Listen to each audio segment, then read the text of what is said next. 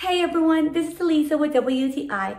I made some chocolate chip cookies and I decided to buy these little bags to place them in here and I've been loving these bags and I love the fact that they're transparent so you can see what's in here.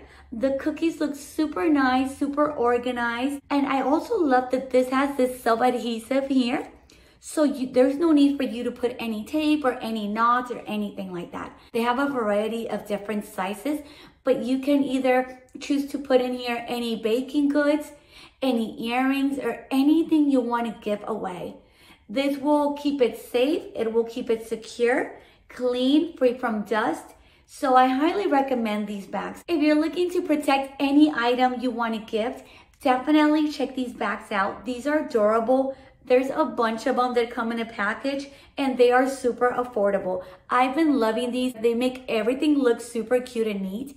And that is my point of view.